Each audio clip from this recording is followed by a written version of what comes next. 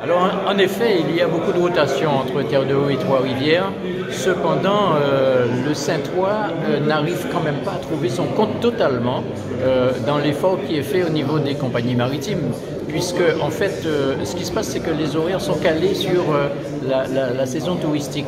Et très souvent, ben, en basse saison, et ça peut durer 4-5 mois, ben, où nous sommes privés d'un certain nombre d'horaires de, navettes, et, notamment en quittant la Guadeloupe le soir, on trouve qu'il nous manque un bateau vraiment à 18h, 18h15, pour qu'on ait le temps toute la journée de faire tout ce qu'il y a à faire sur le continent et rentrer tranquillement. C'est aussi valable pour les gens qui travaillent, les gens de Terre de Haut qui travaillent en Guadeloupe et qui aimeraient rentrer chez eux le soir.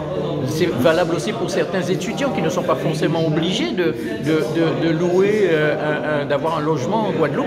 Euh, ils peuvent rentrer chez leurs parents le soir dès lors qu'il y a un 18h ou 18h15 de Trois-Rivières. C'est ainsi, euh, pour nous, à Terre de Haut, on est frustrés parce qu'on a beaucoup de navettes, il y en a six au total, et pour autant les armateurs auraient pu se, mettre ensemble et, avoir une amplitude horaire qui nous permette d'avoir cette souplesse et, et rentrer chez nous le soir.